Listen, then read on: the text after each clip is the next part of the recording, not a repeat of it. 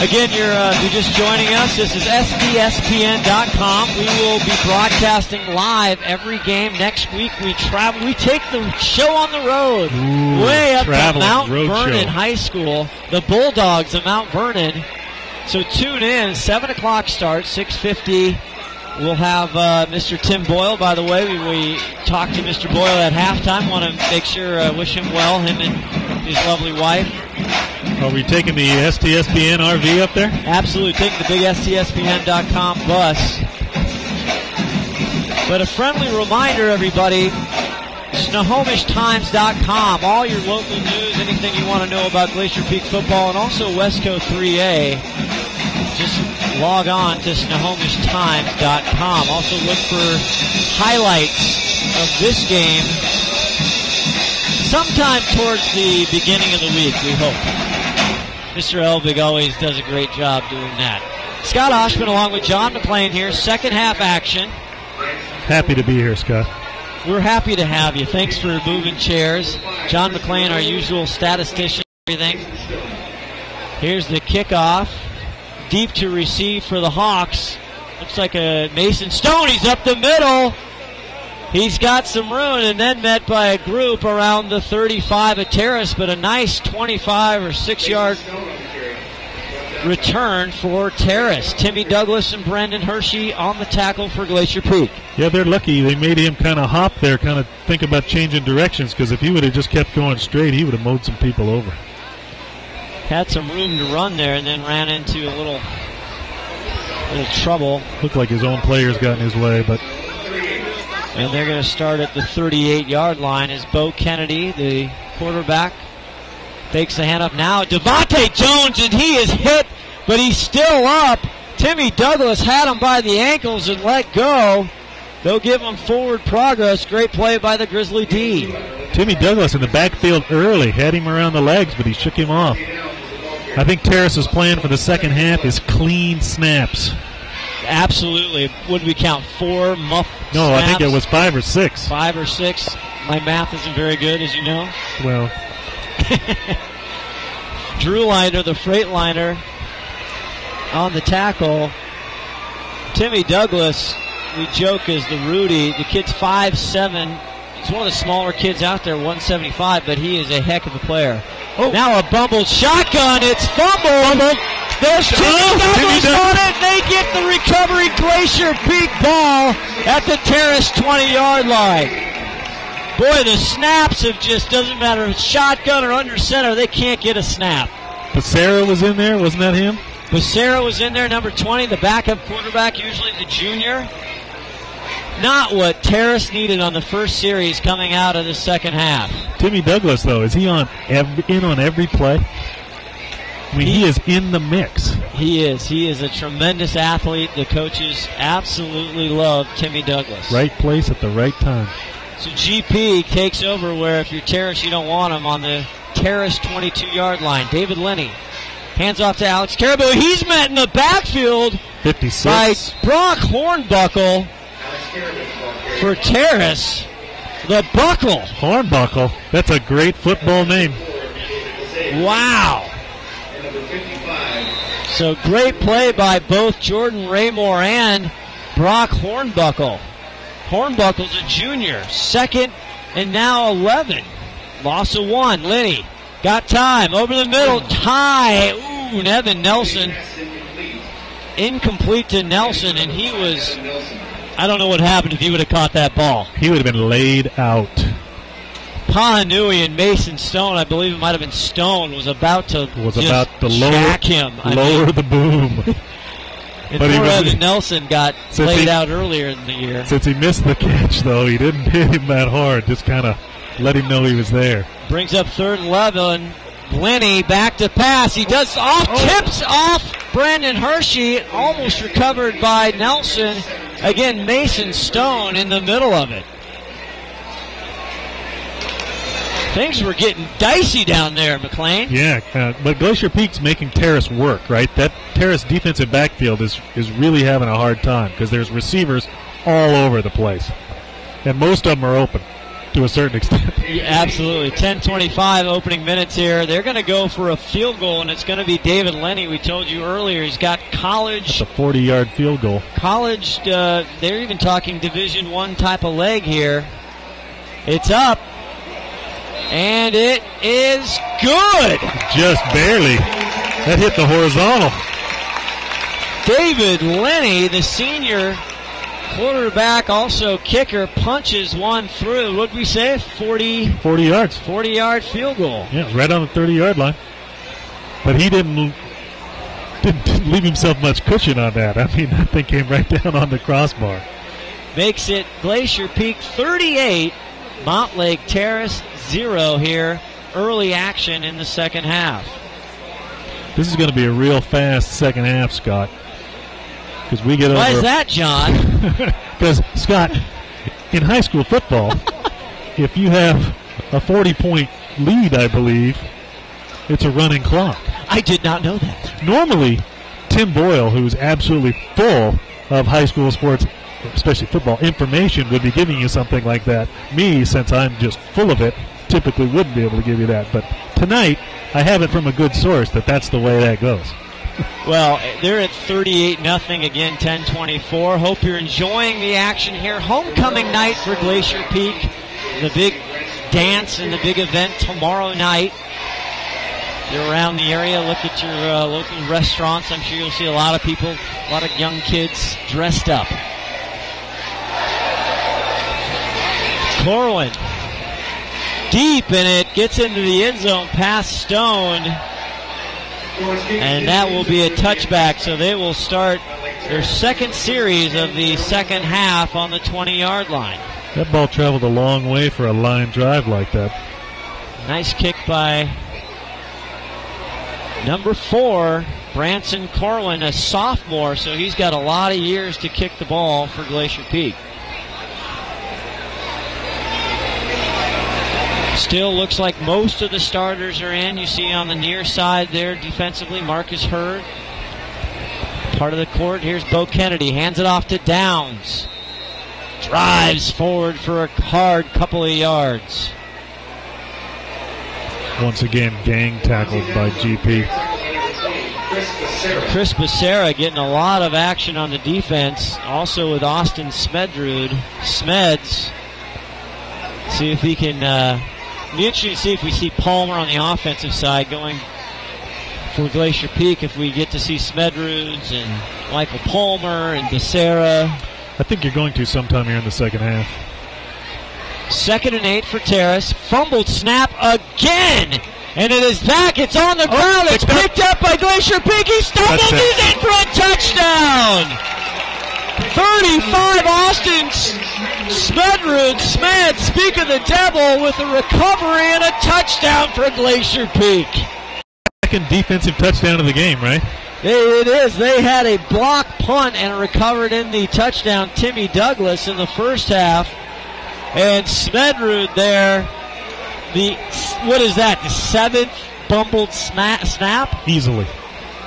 We don't have an official stat for that, but poor Mountlake Terrace, they just can't get a handle on the ball. As you see, Corin Branson on for the extra point. Brandon, excuse me, Branson Corwin kicks it through, almost blocked. Boy, Yeah, high- he killed that one. That High was- snap. that's deep into the dark of the night, and that is good. And now, your your absolute incredible information earlier could now come to play. Forty-five to nothing, Glacier Peak up huge on Mountlake Terrace. I mean, that was a deep kick for a field goal, and those ball boys, number 13 especially, was all over that. That kid is fast. What is he? Eight years old? I mean, Sign him up. yeah. Get him into camp.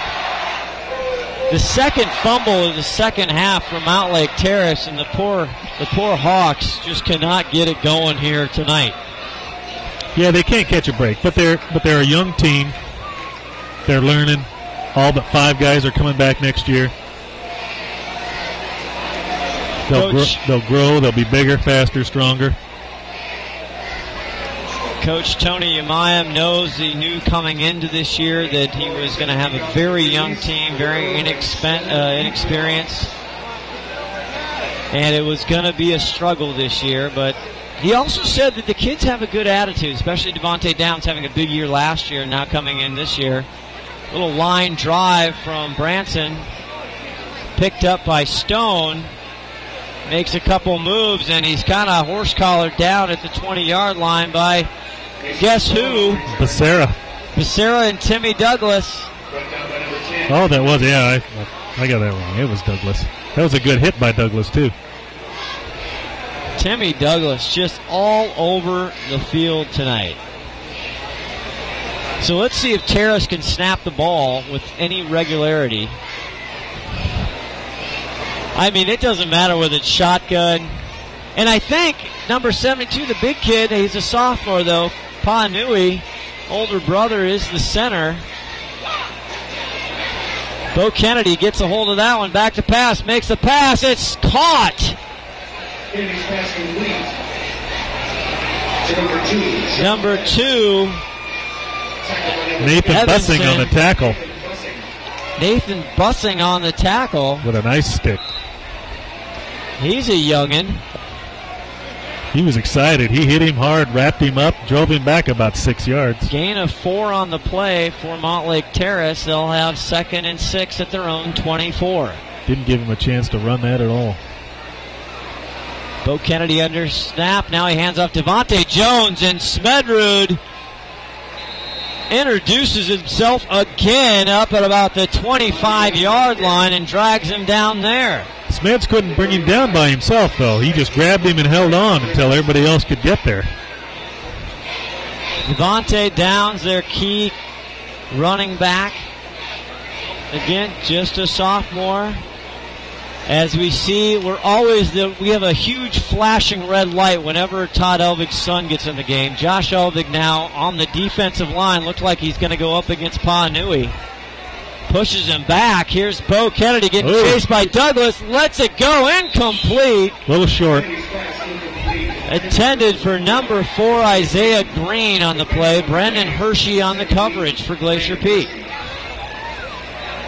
Timmy Douglas again, though, John. How was that? The, he was on the shoe tops of Mr. Kennedy. Oh, yeah.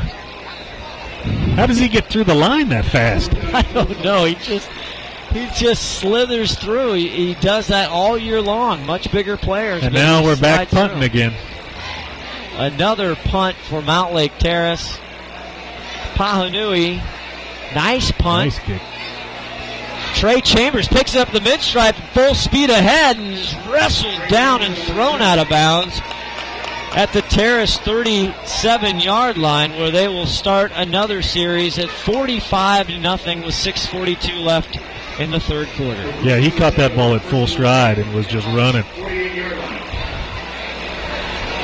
If he could have just got around one more player, he could have been off and gone. Again, tough for Terrace. They're getting the ball again. I mean, they, it's been that the end of the first half was the only time Glacier Peak started deep in their own territory. They're going to get the ball here. Becerra at quarterback.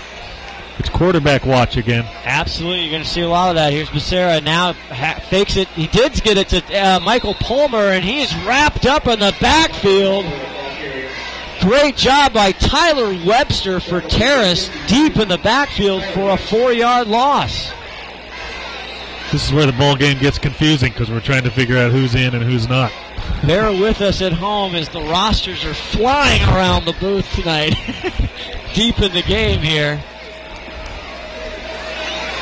Jump start. They're going to have to call that.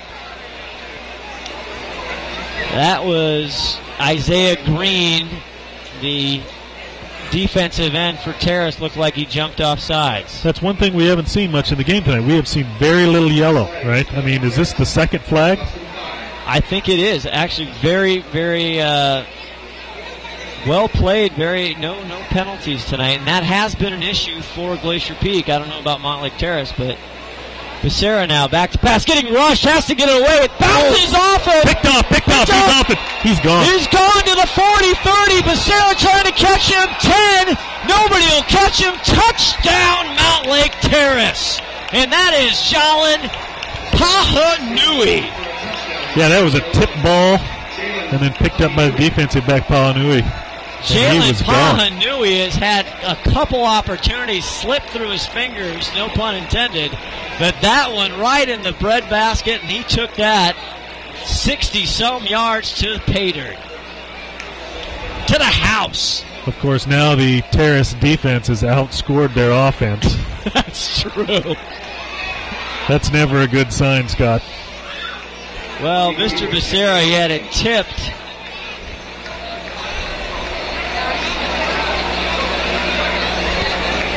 That wasn't a bad pass. It was just a little high. Well, we get to see Pahanui, the guy who scored the touchdown, kick the extra point. It's up and it looks good from here.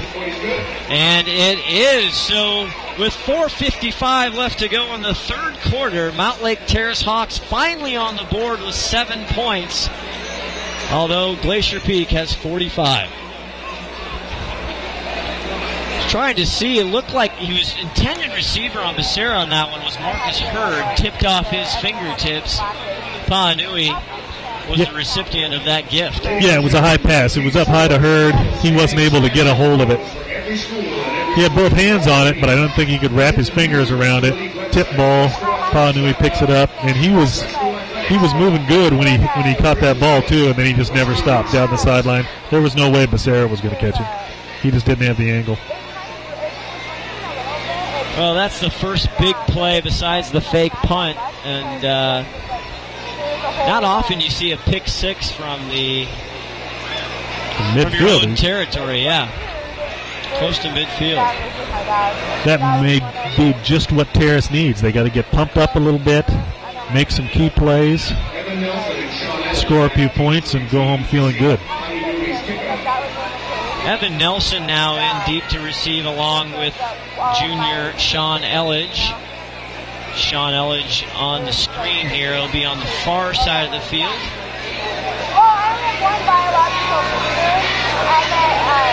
Pahanui, Jalen, a very busy man, scored the touchdown, did the kickoff. Oh, and he thought he missed that one, but he gets a nice one. That's Evan Nelson, is 23. He breaks through. Pahanui. Pahanui's the only one. He trips him up. Great open field tackle by Pahanui, or else Mr. Nelson was looking at touchdown number two tonight. That's the senior man, and he's just a squirt. Boy, he found a little tunnel and he got through there in a hurry. Ah, But number 11, Jalen Pahanui, man, he's the entire team on, for is- Terrace right now. He is doing it all. Yeah, yeah. Very lucky to catch him. So Glacier Peak now starting first and 10 at the Terrace 45. Becerra, in the quarterback, keeps it now upfield, and he is met hard by Jordan Raymore And others. and others. Yeah. Terrace, good job there. This is where we notice the pace of the offense slows, though, right? Without Absolutely. without Lenny in to keep that pace just clicking. For Terrace, again, 58. Blake Oakley, a sophomore on the tackle as well. Becerra now Palmer on the right side got some room, but he's caught up. Jordan Raymore again tracks him down. Devontae jo- Downs also there on the tackle. Give him a pickup of about four or five. Again, no huddle. Brings up a third down and six. The Terrace 41 yard line. Becerra low snap. Now he's got traffic. Now takes it on his own. He's reaching and he will get a first down. And he's brought down there at the 35. Pushed back by Isaiah Green. Jordan Brown also on the tackle. Nice job by the Terrace defense. Must be good enough for a Grizzly first down. They will give him a first down. Had to get just past the 35, and he did right to the 34. So, Scott, we have a new uh, high school score from around the league. Looks like we got Oak Harbor 28, Mount Vernon 27 at the half. That's a close game. Hands off to Palmer again, I believe. And we have a flag. He was tackled in the backfield. And a loss of, a half a yard or one yard, but there's a flag down. We'll see if we can see what it is. Oak Harbor 28, Mount Vernon 27. We've faced, uh, excuse me, Glacier Peak faces Mount Vernon next week. They are doing pretty well in their own league, actually. They haven't played anybody in their own league. I'm sorry, they're about three and one, I think, four and one. What's the call here, John? It's on Terrace. As they get five yards now and repeat a first down. First and six. The junior, Chris Becerra, with the ball, hands off to Palmer. He's held up and backed up line. Gain of zero. by Tyler Webster, Jordan Raymore, and the gang from the Hawks and Terrace stuffing the running game right now. Yeah, they, it, look, it looks like Mount Vernon's filling the hole, right? I mean, there's no place for him to go. He gets up to the line of scrimmage, and there, you know, he's going to have to start going sideways or something. Terrace again. 2009 went to the playoffs for the first time in school history. That's 45 yards. Now he pitches Now. it out to Palmer on the right side. He's got a first down and more on the right hand side, far sideline. Keeps in bounds all the way down to the 15 yard line. Finally brought down by Brock Hornbuckle. The buckle. The buckle's all over it. But if Glacier Peak just keeps running an option like that, they're going to be moving that ball down the sideline. Those chains are just going to keep moving. Pretty soon they're going to be in the end zone. Clock ticking now here in the third quarter, 42 seconds and counting. Chris Becerra gets it, hands it off to Michael Palmer on the left side. Now stutter steps and can't get his feet. Did he trip over that yellow line out there? I don't know what he did. He tried to make a cut and looked like actually looked like Glacier Peak players from last week at uh, Edmond Stadium. That is a short, wet grass that they played on last week. A lot of players slipping. So 14 seconds now. Clock still winding down here in the third quarter. Second and 10 on the Terrace 15. Becerra hands it off to Palmer again up the gut. He's got some room now. Gets all the way down to the six or seven yard line. And that will do it for the third quarter. Glacier Peak on top, big still, 45, but Terrace gets on the board with seven points. You're watching and listening to Glacier Peak football on the Snohomish Times Sports Network.